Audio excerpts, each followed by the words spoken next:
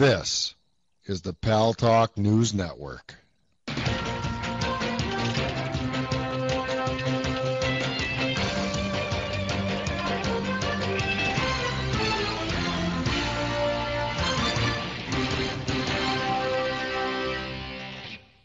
News Talk Online. News Talk Online is a production of paltalk.com, the largest multimedia interactive program on the internet with more than 4 million unique users on demand on iTunes and on YouTube and on my blog, GaryBaumgarten.com, where you're encouraged to post your comments, whether you agree with yours truly or not. No retribution. And thanks to our good friends at CRN Digital Talk Radio. We're uh, syndicated to an additional 12 million households. I am your host, Gary Baumgarten. I welcome you to the show. Before we get to our guest, Dr. Davis Liu, uh, Boaz, I don't know if you noticed the last story posted at uh, paltalknewsnetwork.com.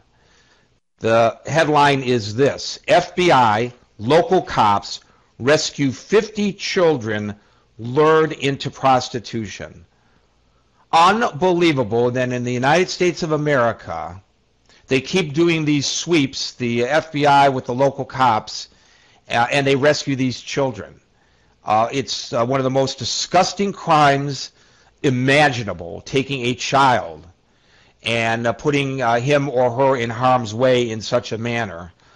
And every time they go out and do that, along with the state uh, authorities and the local authorities and the National Center for uh, Missing and Exploited Children. Uh, we always cover it because I think it's very important to support the work that they are doing to try to keep these kids safe. But um, over 30 communities across the United States, these raids occurred over the past three days. 50 children. Includes, Gary, by the way, uh, right yes. here in California, which is the uh, uh, is considered uh, a fact right here in Los Angeles, where uh, we know uh, as a fact that the, the, the center of the pornographic world exists right here in the San Fernando Valley, and unfortunately, part of that pornographic world is what exactly what you're talking about the production of, of these kinds of films that include underage people. Yes, it's it's very uh, disgusting. And uh, kudos to the FBI, all the local and state authorities, and of course the National Center for uh, Missing and Exploited Children for doing the fine work that they are doing to try to keep the kids safe. Uh, okay, well, uh, one of the biggest stories that we've been covering and the mainstream media have been covering as well, it has to do with the swine flu. And uh, we've tried our darndest to, to, to, to, bring to you the facts as we know them.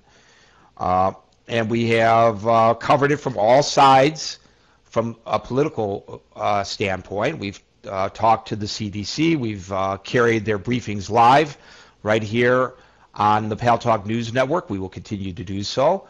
We have covered it from the point of view of those even in the healthcare industry who are reticent to take uh, the swine flu vaccine. Now, the President of the United States, Barack Obama, has declared a swine flu emergency uh, that's designed to make it easier for hospitals, as I understand it, to treat people off site if necessary so as not to uh, bring people who are suffering from the swine flu into close contact with uh, patients who have reduced immune systems. And we also hear that there's a shortage of swine flu vaccine. Uh, we have brought to you a video of uh, people waiting in line uh, to uh, uh, unsuccessfully to get uh, vaccinated or to get their children vaccinated. And we've also heard from people who say, don't go get vaccinated because it's untested and you're better off not being vaccinated for the swine flu. Well, joining us is a guy that we can trust to tell it like it is because he doesn't have a horse in the race politically. Uh, Dr. Davis Liu, who's a, a frequent uh, visitor to this show, the author of the book Stay Healthy, Live Longer, Spend Wisely, which I have to go and re-review because I'm under the weather today, uh, Dr. Liu, and I am uh, keep trying to keep the liquids down. I've got uh, chicken broth right here that I'm drinking uh, during the show. So I'm sure you'll be proud of me for at least doing that and leaving work today rather than contaminating my coworkers. Dr. Davis Liu, welcome back to News Talk Online on the Paltalk News Network. Gary, thanks for having me. Hope you feel better. And uh, chicken noodle soup really works. That's what I do when I get sick. Hey, it's uh, it's called Jewish penicillin, chicken noodle soup, no question about it. So let's start with the question of the hype before we get into the question of what is a prudent thing that we ought to do as we make decisions for ourselves and for our family members.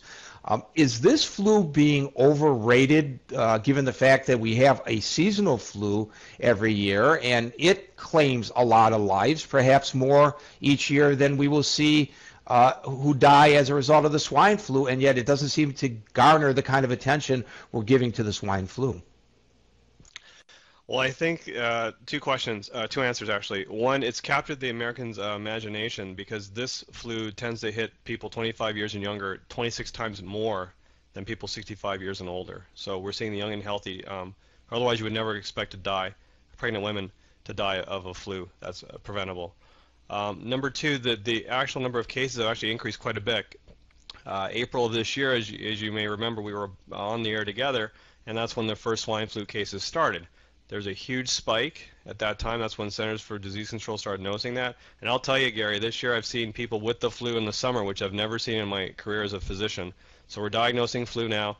Uh, I had to go online before I came on your show. You know, 7% of doctor visits now are related to the flu. Just to give you an idea, last year in the winter, the dead of winter, 2008, the highest number percentage of people seen for flu, just general flu, was 6%. That number is steadily increasing. So swine flu is a real problem. I think uh, people should get vaccinated. For the record, I just took two of my kids this morning to get vaccinated before I got on your show. I actually myself had the H1N1 uh, swine flu vaccine last week, so I, I believe in what I say when it is the right thing to do. Of course, you're a healthcare professional. You have direct contact with patients, and your children are in the higher risk group, unfortunately. Uh, who would have thought that it would, uh, you, as you say, strike people who are under 25 years of age? But what about the rest of us? Should we be taking the vaccine as well? You know, Centers for Disease Control and fascinating data uh, in the spring. They found that out of 100,000 cases, uh, swine flu, or H1N1 as it's now called, affected 1 in 100,000. And we went to people 25 years and younger, it affected 26 out of 100,000. And the reason of that is the science.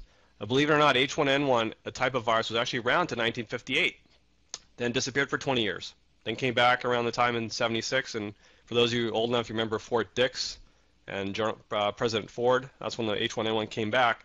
And so the irony is this: people who've been around longer have some partial immunity, and that's the science. So the only people between 25 and 64 who might need the uh, H1N1 vaccine are those with diabetes, heart disease, asthma, kind of the risk factors you think of with normal seasonal flu, chronic conditions we call it. But otherwise, people over 65 years old are otherwise healthy.